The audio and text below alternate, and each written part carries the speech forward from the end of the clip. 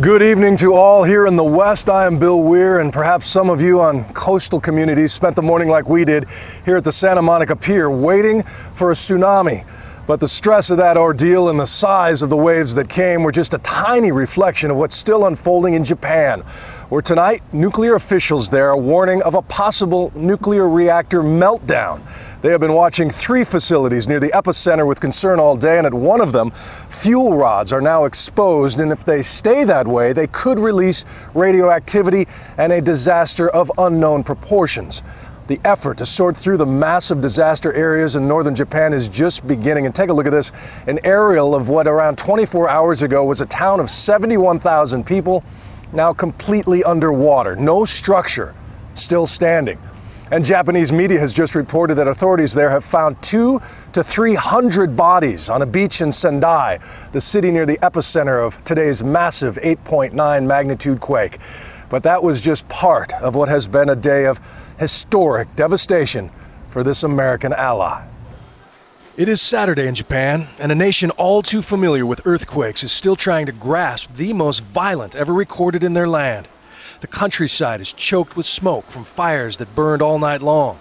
More than 400 are dead, almost a thousand still missing.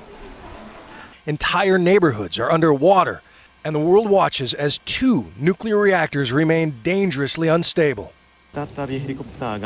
As rescues begin in Japan, families back here in the States anxiously await any word on their loved ones. But it was this moment 2:46 in the afternoon when Japan's nightmare began. The ground began to shake. 32 million people here in Tokyo braced themselves for the worst. The 8.9 magnitude trembler violently jolted the country. It was a thousand times stronger than the earthquake that struck Haiti. Large chunks of buildings fell to the streets as people rushed for cover. The communication infrastructure so stressed, the occasional phone call or Skype interview is the only way to get eyewitness accounts. Uh, it started off as a shake and then really turned into more of a swing and just, you know, things falling off shelves and um, this real sense of kind of nausea and seasickness almost with the whole earth. Uh, shaking underneath you. I did think at one point that I really might die here. The Japanese TV station's NHK offices across the country shook. I couldn't keep standing.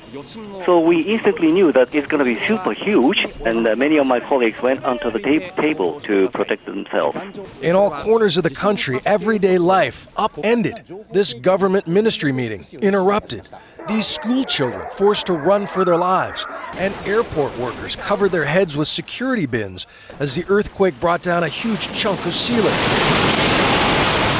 Pillars toppled at a Buddhist temple. Fires burned across the northern part of the country as gas lines ruptured, and this oil refinery was engulfed in massive flames.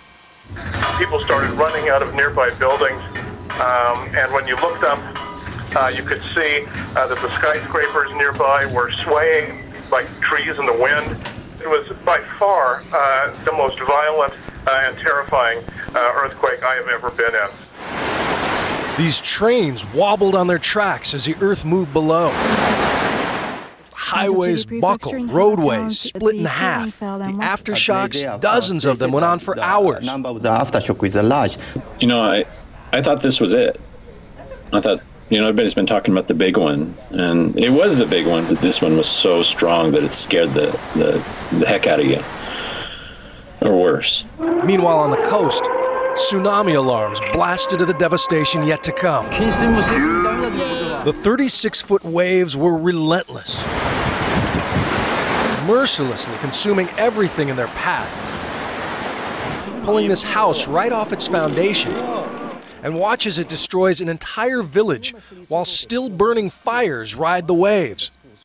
You get a chilling sense of the enormity of it all, seeing this man on the back of his truck, watching helplessly as the destruction swirls around him. You're seeing live footage of a tsunami engulfing the port area of Kamai City in Iwate Prefecture. This is what's happening right as we speak. Hundreds of cars were swept along the current, boats tossed like bathtub toys, Devastated by the tsunami was the port city of Sendai, the closest city to the epicenter. Floodwaters consumed the city's airport. And with runways underwater, people sought refuge on the roof of the terminal.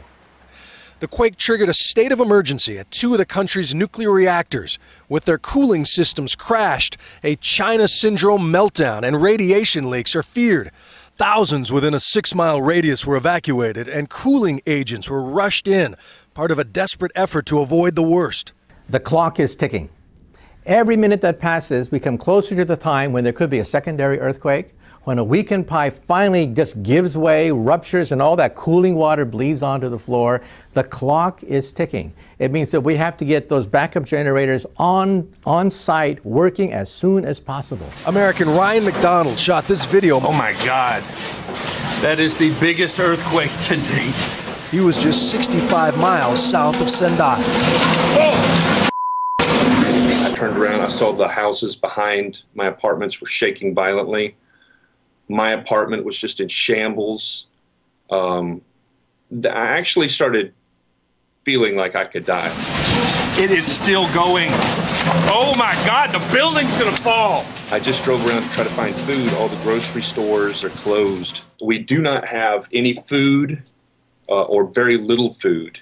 Uh, this was my dinner, uh, cup noodles, and thing of orange juice, and that was it. That's the last thing I ate, and that was about ten hours ago. Um, the only other thing, the only other things I have in the house are like this half thing of tomato sauce, which I'm gonna make that work somehow. You know, the many houses around the coast area flashed away, so people lost their houses or possessions. Uh, even they don't have anything, you know, to eat or uh, drink, or you know, they cover themselves uh, over the night. Overnight, the military loaded up supplies to be distributed, but by morning, the destruction was in full view. Tall buildings alone in a sea of water and debris, many still stranded on rooftops. Older buildings, traditional homes, little more than splinters now. Cars ready to be shipped abroad are burning, and in the mountains near Nagano, the ground crumbled beneath the railroad tracks. There are even fears about avalanches.